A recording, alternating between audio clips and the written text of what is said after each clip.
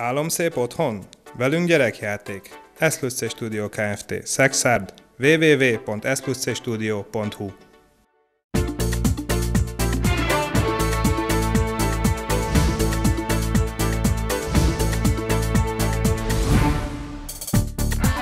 Nagyszülői gyed több százezer forint is lehet a havi összeg. Munkáltatói terhek rengeteg pénzt viszel az állam a cégektől. Kezdő vállalkozások támogatása közel 1 milliót kaphatnak. Vasalbert rajzverseny 150 diák nevezett az idei megmérettetésre.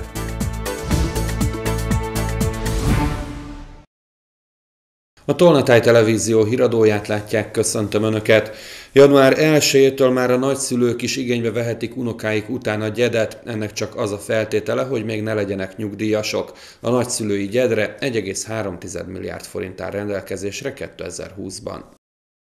Január 1-től akár a nagyszülő is gyedre mehet, ehhez igazolnia kell, hogy az unokája születését megelőző két évben legalább 365 napot folyamatosan dolgozott, és hogy a gyermekszülei szintén dolgoznak.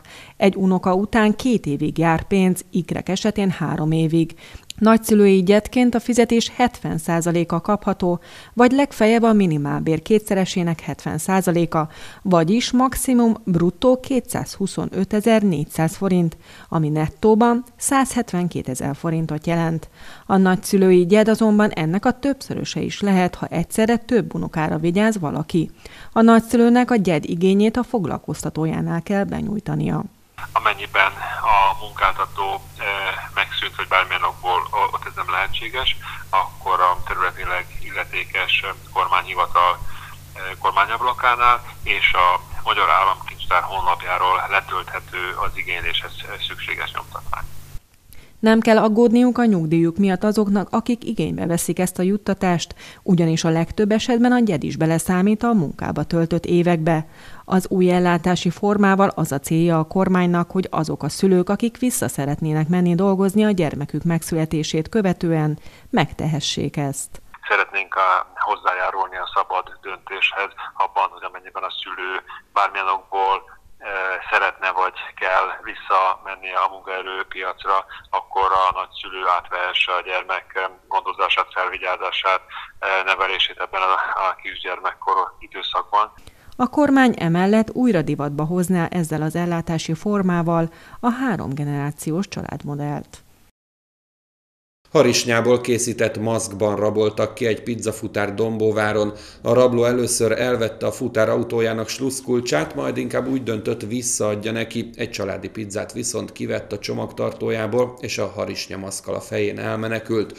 A rendőrök hamar elfogták a férfit, akinél a maszkot is megtalálták, a pizzát viszont útközben megette, ezért annak már csak a dobozát tudták lefoglalni. A férfi tettért akár több év börtönt is kaphat. Közel kétszer annyiba kerül egy minimálbéres munkavállaló a foglalkoztatójának, mint amennyit a dolgozó készhez kap. A minimálbér és a szakmunkás minimálbér emelkedésével ráadásul még többet kell a cégeknek befizetniük az államkasszába, mint 2019-ben. 161 ezer forint bruttóban, ennyit keresett január 1 óta az, aki minimálbérért dolgozik. Ez 8%-os emelés a tavalyi 149 ezer forinthoz képest. Nettóban ez havonta 107 ezer forintot jelent. A szakmunkás minimálbér is 8%-kal emelkedett, annak mostantól 210.600 forint a bruttója, vagyis 240 ezer forintot kapnak az ennyiért dolgozók Magyarországon. Ezeken felül a munkáltatóknak viszont még további közterhet is meg kell fizetniük az állam felé, mondja a Nemzeti Adó és Vámhivatal Tolna megyei szóvivője. A bruttó munkabérek után 17,5% szociális hozzájárulási adót és 1,5% szakképzési hozzájárulást kell fizetniük. Vagyis a minimálbér esetén a bruttó béren felül még 30.500, míg a garantált bérminimum vagy más néven szakmunkás minimálbér esetén még 40 ezer forintot kell a vállalkozásoknak befizetniük az államkasszába. Vagyis egy minimálbéres munkavállaló havi foglalkoztatása 191, míg egy szakmunkás minimálbéres munkavállalói 256 ezer forintba kerül havonta egy cégnek. Fontos megemlíteni, hogy július 1-től majd egy új egységes társadalombiztosítási járulék lép hatályba. Ez azt jelenti, hogy az eddigiek helyett egyetlen járulékot kell majd a munkavállalók után fizetni. Ennek a mértéke 18,5% lesz, de ez tulajdonképpen megegyezik a jelenleg hatályos járulékok összegével. Magyarországon egyébként már nem csak Nyugat-Európához képest marad el jócskán a minimálbér összege. Lengyelországban például január óta már 198 ezer forintnyi zlotyi a minimálbér összege, Szlovákiában nagyjából 191 ezer, Romániában pedig 156 ezer forintot vihetnek haza a minimálbérért dolgozók. Január 1-től folyamatosan igényelhetnek támogatást azok az álláskeresők, akik vállalkozóvá akarnak válni, és minden előzetes elvárásnak megfelelnek. A nyertes pályázók fél éven át havonta a kötelező legkisebb munkabérösszegét kapják meg, vissza nem térítendő támogatásként, ami összesen közel 1 millió forint. Azok az álláskeresők, akik vállalkozást szeretnének indítani, egyszerre akár két támogatást is igényelhetnek, közel 3,5 millió forint összértékben.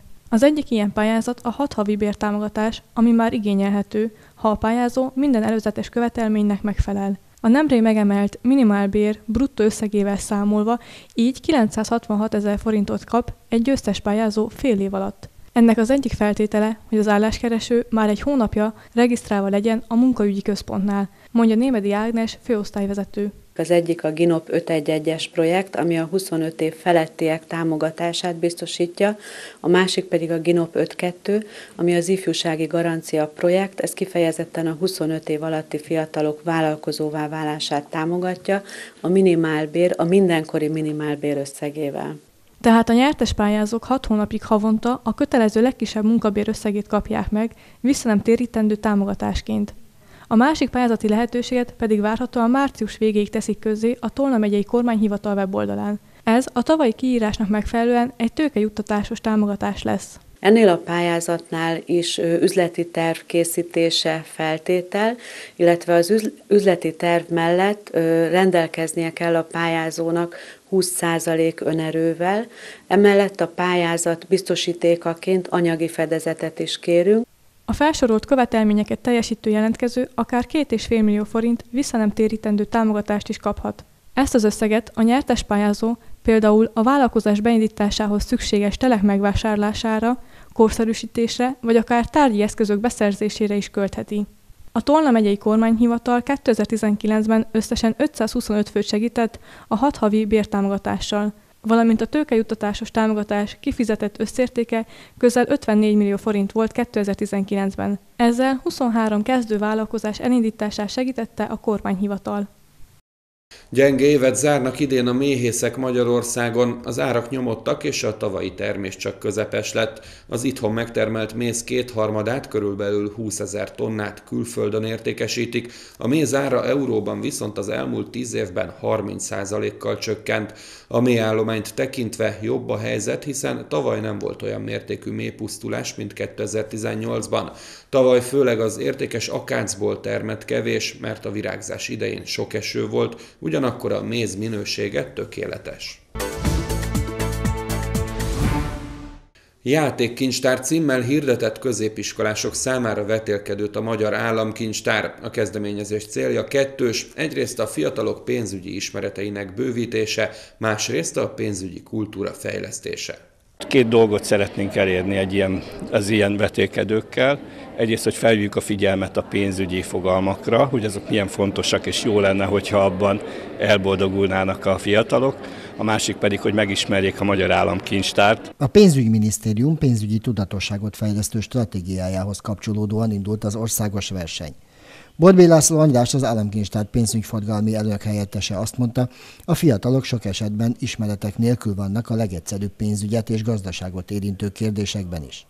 Fehérvári Tamás a megyei közgyűlés elnöke, a verseny fővédnöke azt mondta, hangsúlyos az ifjúság ilyen irányú fejlesztése is. Azért hangsúlyos a dolog, mert ugye a fiataloknál kezdődik a dolog. Tehát otthon tanul meg az ember mindent. Ha otthon nem tud megtanulni, mert mondjuk a szülei még nem abban a világban nőttek fel, hogy ismerjék a pénzzel kapcsolatos műveleteket, akkor valakinek segítenie kell ezt számukra biztosítani. Ehhez legjobb, hogyha felkérjük a szakembereket, és ők elmondják nekik, vetélkednek egyet, és az már biztos, hogy megragad bennük. A pénzügyi általános ismeretek bővítése mellett a kincstár szolgáltatásainak megismertetése is cél volt. Annak ellenére, hogy tavaly közel 6000 ügyfél fordult meg az államkincstár ügyfélforgalmi irodájában, a szolgáltatások jelentős része nem közismert, mondta Borbé László András. A vetélkedőn öt csapat közül a Szexárdi Gadai János gimnázium csapata diadalmaskodott. Egyre többen látogatják a Vosinski Mór megyei múzeumot, mindez jól jelzi az intézmény beágyazódását Tolna megye és Szexárt kulturális életébe, mondta stábunknak Ódor János Gábor igazgató. Az ott dolgozók olyan programokat állítanak össze az állandó kiállítások mellett, amik közérdeklődésre számíthatnak, tette hozzá a közgyűjtemény vezetője.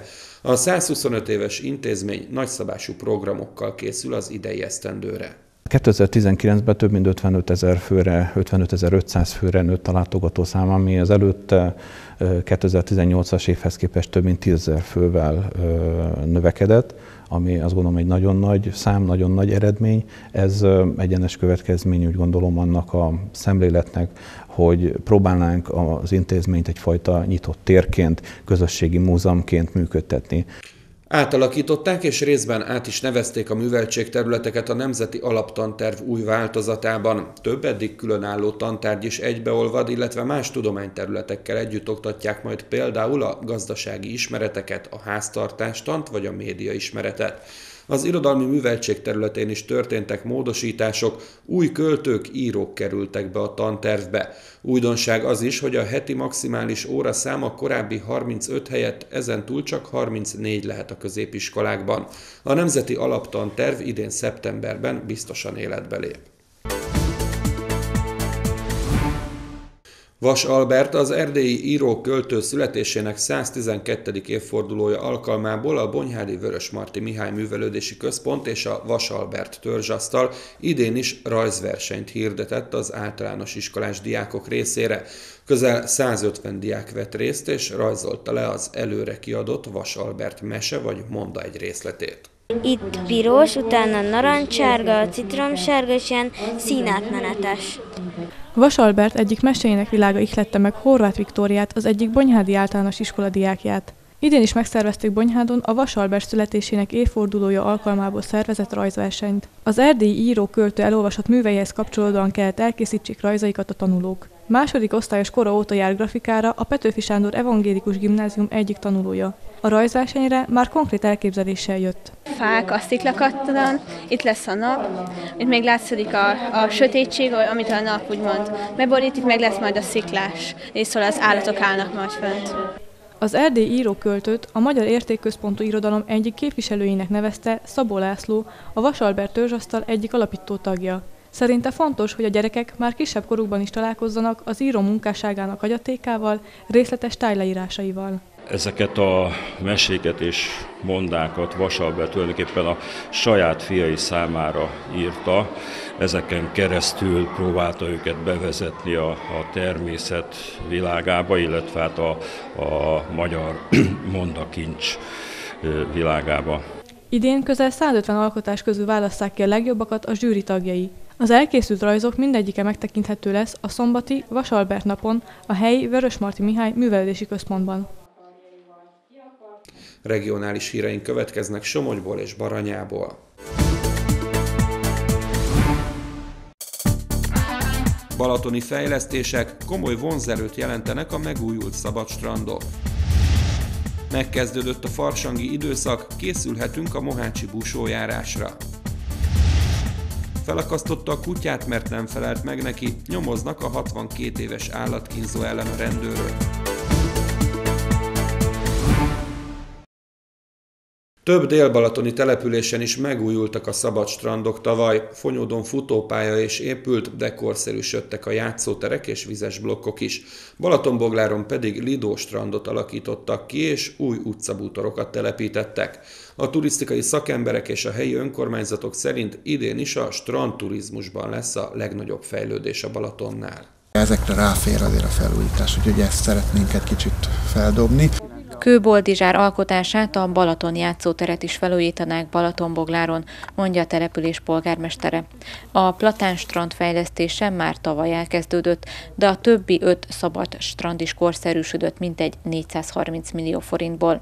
Tavaly év végén is pályázott a város a Magyar Turisztikai Ügynökséghez, mintegy 300 milliós fejlesztést terveznének. Idén a vizes blokkokra tettük a hangsúlyt. Itt a Platánstrandon is szeretnénk minden vizes blokkot felújítani. Továbbra is az utcabútorok, tehát a szeméttárolók, különböző újabb lidósítások is szerepelnek a programban. Az állami támogatásoknak köszönhetően 2018-ban a fizetős fürdőhelyek költségvetését egészítette ki több milliárd forinttal a Magyar Turisztikai Ügynökség, tavaly pedig 15 Balatonparti település 30 szabad strandja korszerűsödött 3 milliárd forint forintból. Fonyót fizetős strandja, valamint öt szabad strandja az elmúlt két évben összesen 540 millió forintból fejlődött. A legfontosabb mindenhol a vizes blokkok állapotának javítása volt, a korszerűsítésekkel Fonyódon sem állnának meg mintegy egy milliárd forintnyi fejlesztési projektet készítettünk össze, és ha ezt elosztjuk mondjuk egy öt évre, akkor is elégedettek leszünk, hiszen akkor minden évben 200 millió forintot tudunk fordítani a strandjainkra. A mostani elégedett állapot mellett azt gondolom, hogy nagyon fontos, hogy továbbfejlődjenek. Sikeres elbírálás esetén az új fejlesztések már idén nyára megvalósulnának a balatoni szabad strandokon. Vízkeresztel megkezdődött az idei farsang, eleinknél ez az időszak még nagyobb jelentőséggel bírt, mint manapság, hiszen a két bőjt, azaz a karácsonyi ünnepkör és a nagybőjt közötti vigasságoktól hangos néhány hét volt. Baranyában a legismertebb farsangi népszokás, amely a világörökség része is lett, a mohácsi busójárás.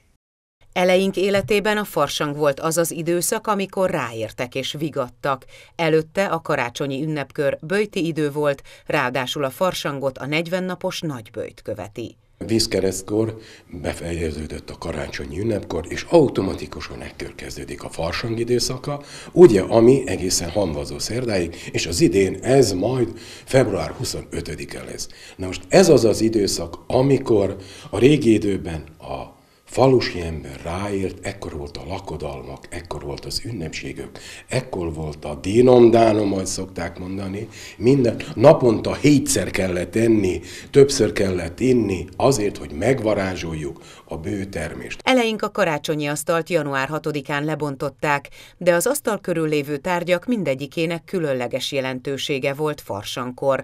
Ilyen a seprű, melyel a gazdaszony január 6-án felsöpörte a szobát és az asztal alatt lévő szalmát, a karácsonyi időszakban ugyanis nem volt szabad takarítani. Fontos még a gazda csizmája, amiben elment a farsangibálba, de a lószerszámoknak is nagy jelentőséget tulajdonítottak, hiszen ezekkel fogták be a farsangra tartó kocsi elé a lovakat mert ez a maszkabálok időszaka is. Ugye? És akkor még, hogyha azt megemlítjük, hát Mátyás király idejében már hatalmas nagy maszkabálok voltak, és a legszomorúbb, ugye, hát szegény második Lajosunk a Mohácsi csata előtt még hatalmas farsangot tartott, amikor még elefántok is voltak ezen az ünnepségen. Baranyában a legismertebb hagyomány, mely a világörökség része is lett a mohácsi busójárás. Ez egy 18. századig visszanyúló sokac farsangi népszokás, ahol a maszkok azért olyan félelmetesek, hogy eliesszék a telet. A busójelmezt régebben csak férfiak viselhették, ma már gyerekek és asszonyok is beöltöznek busónak. Közlekedjünk együtt, vigyázzunk egymásra, röviden keve annak a programnak az elnevezése, melyet idén először rendeztek meg Baranyában. A megyei rendőrfőkapitányság január 8-án a program nevéhez hűen Keve napján tartotta meg ezt a baleset megelőzési akciót. Ennek keretében interaktívan egymásra épülő jelleggel zajlik az 1-8 évfolyamokon tanuló diákok részére korosztályukat, életkori sajátosságaikat figyelembe véve a közlekedési baleset megelőzési ismeretek átadása. Mindezt pedagógus végzi rendőri felügyelettel. A megye több településén egyszerre mentek át iskolások a kijelölt gyalogátkelőhelyeken.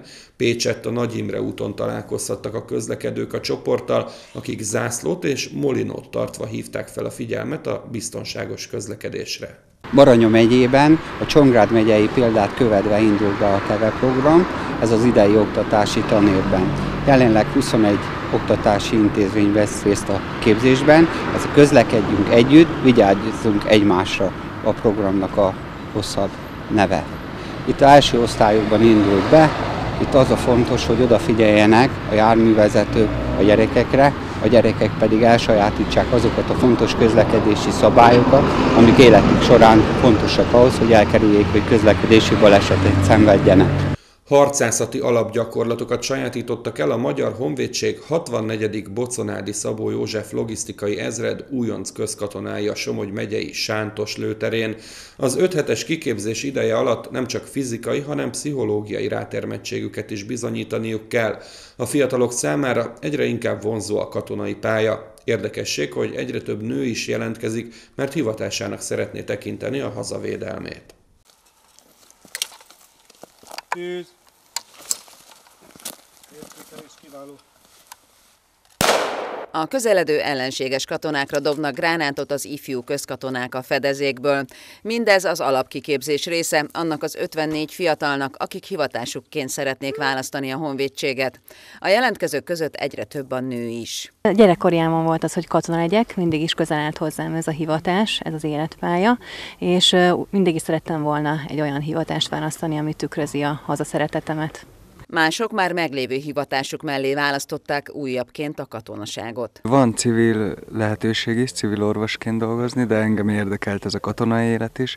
A későbbiekben akár a csapatorvoslás, vagy maga a katonaorvoslás is megfordulhat a lehetőségek között, úgyhogy ezért döntöttem így, hogy a kettőt ötvözöm, és továbbiakban így folytatom a karrieremet. Az alapkiképzés öt hete alatt a közkatonák mind szellemileg, mind fizikailag jelentős próbatételnek vetik alá magukat. Ez bizony sokszor nem egyszerű feladat. A fizikai is, ugye most már a fiatalok nem annyira sportos emberkék, mint ahogy itt ez elvárható. Itt viszont minden áldott nap reggel reggeli tornával kezdünk, minden áldott nap van katonai testnevelés, illetve ez az egész összekovácsolódás, hogy sokan vagyunk, egységbe vagyunk, ez nagyon sok fiatalnak úgymond nehézséget okoz. A fiataloknak nem csak fizikai, de pszichikai teszteket is teljesíteniük kell. Persze, mint mindenütt, itt is van lemorzsolódás. A mostani újoncok 77-en indultak, és 54-en maradtak, de kiképzőik szerint ők már mindannyian sikeresen végzik majd el az alapkiképzést, és folytathatják katonai karrierjüket. Állatkínzás miatt indult nyomozás egy férfi ellen, aki felakasztotta kutyáját a Baranya megye déli részén található Cunkösség határában. Hiába riasztotta egy szemtanú az állatvédőket, az eb elpusztult. A férfi azt mondta, azért ölte meg a kutyát, mert túlságosan játékos volt, így nem tudta használni terelésre. Állatvédők vizsgálják át ezen az amatőr felvételen az akácost a Baranya megyei Cunnál. Telefonon kaptak riasztást, hogy egy férfi kutyát húz maga után a kertek alatt jöjjenek, azonban későn érkeztek. Végül itt találták meg az állatot, segíteni már nem lehetett rajta. Jól látszik, hogy ezzel a kék zsineggel egészen pontosan bála kötözővel akasztották fel. Az esetről bejelentést tettek a rendőrségen hétfőn. A bejelentés arról szólt, hogy Cun közelében a településtől nem messze egy akácos részen egy felakasztott kutyát találtak. A kollégáim kimentek a helyszínre, ahol megállapították, hogy valóban a szántóföld mellett egy akácosban egy bálamadzaggal valaki felakasztott egy kutyát, amely ennek következtében elpusztult. Az adatgyűjtés során sikerült beazonosítani a feltételezett elkövetőt. A kollégáim rövid időn belül beazonosították és elfogták a 62 éves Cuni férfit, aki az elkövetéssel gyanúsítható, kihallgatták és beismertetettét. Elmondta, hogy a kutyát egy ismerősétől kérte kölcsön, a bárányainak a tereléséhez szerette volna használni őket. Az, amivel hazafelé menet úgy gondolta és úgy látta, hogy az állat nem lesz alkalmas erre a feladatra, úgy döntött, hogy megszabadul az állattól, és így hakasztotta fel az akácosban a fára. A gyanúsított ellen állatkínzás elkövetése miért nyomoz a Siklusi rendőrkapitányság.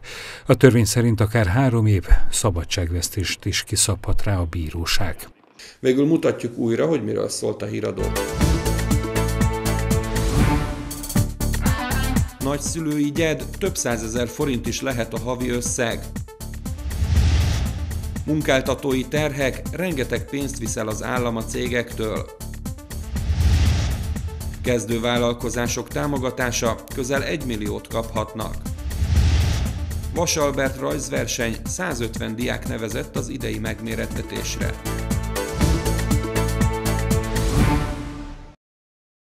Pénteken többnyire felhős időre van kilátás, párásság is előfordul, de napközben átmeneti időszakokra helyenként csökkenhet, szakadozhat a felhőzet, időszakonként a nap is kisüthet, csapadék nem valószínű. Már köszönöm figyelmüket, friss hírekkel legközelebb pénteken este jelentkezünk viszontlátásra.